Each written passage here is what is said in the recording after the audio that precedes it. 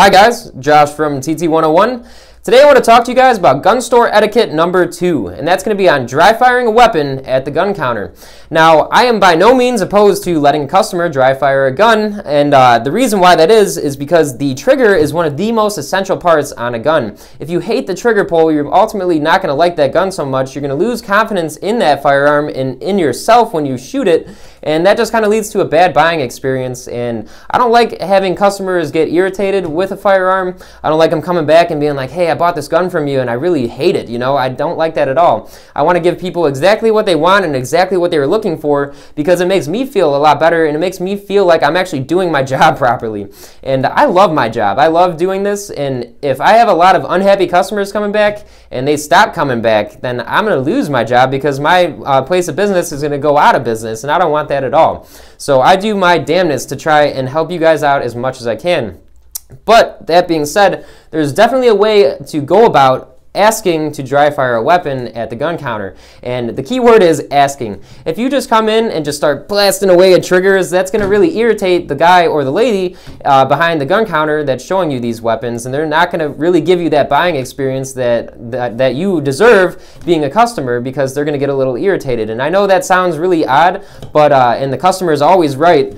But in that circumstance, you're not in, uh, right in doing that because, for one, it could damage the firearm uh, depending on what platform it is. Now, most firearms nowadays are so well built, they're overbuilt to the point where dry firing a gun like hundreds of times isn't really going to hurt the gun. But there are certain platforms of firearms like revolvers and semi automatic 22 LR pistols or rifles that you do not want to do that with on a consistent basis. It can wear out springs or um, firing pins and hammers, all types of stuff uh, that you do not want to have wear out on a gun.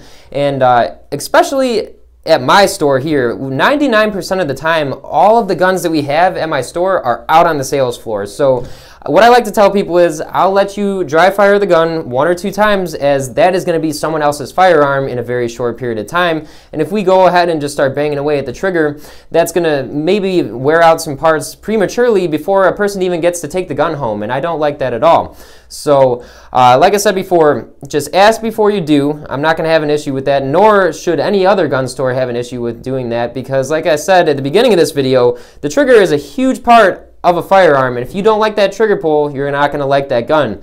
So uh, I do want to tell you guys a funny story, though. I actually had uh, a gentleman and his wife come in about three months ago, and this was their first firearm they were ever going to be purchasing. And I love selling people their first gun. I absolutely love that. It makes me feel pretty great, and I, I love getting people into the shooting sports uh, industry.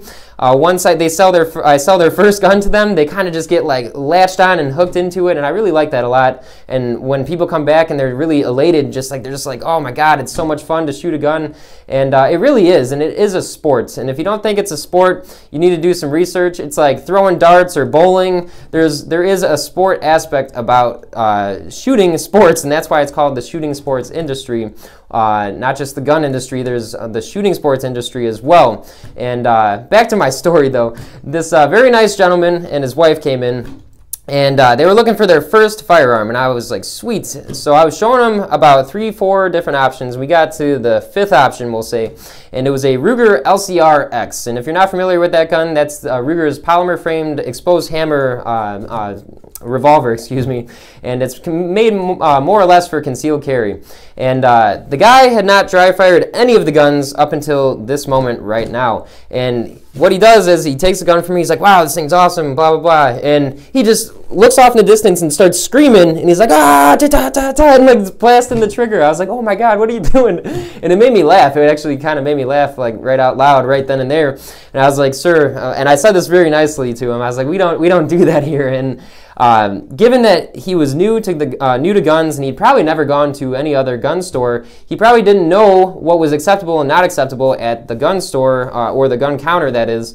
And uh, that's why I'm doing these videos is to give you guys an understanding of us being gun salesmen, where uh, salesmen, where we're coming from and uh, on the opposite end of the uh, counter there, uh, if you know what I mean. So uh, I told him very politely, I was like, we don't do that here. If you wanted to dry fire the gun, I'll let you dry fire it a couple times. And then I gave him my whole spiel that that firearm is going to be someone else's gun or even yours someday. And it's really not uh, good to do that to the gun over and over and over and over.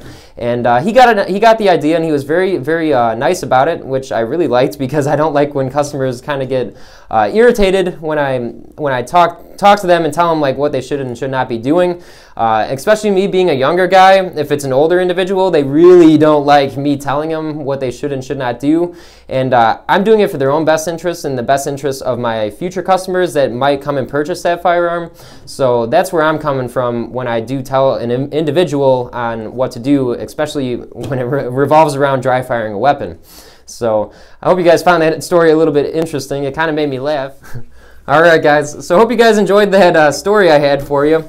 But uh, to end off this video, I want to show you guys my Springfield Armory Saint. I just did another modification to this gun if you haven't watched my last video that I did. And that's going to be the Mission First Tactical Oversized Charging Handle Latch. And that's just the latch portion right here.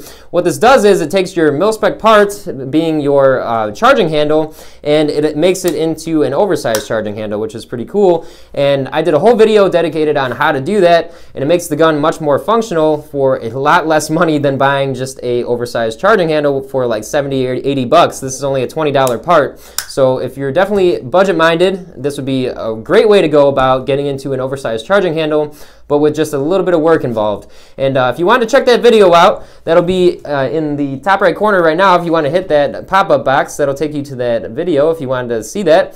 And uh, it only took about six minutes to do, so it's not a really long video by any means. So I definitely suggest checking that out if you were interested in doing something like this to your AR. And uh, that's going to wrap it up today, guys. I hope you guys enjoyed this video. If you're not a subscriber, hit the subscribe button and the like button. I would definitely uh, appreciate you doing that for me.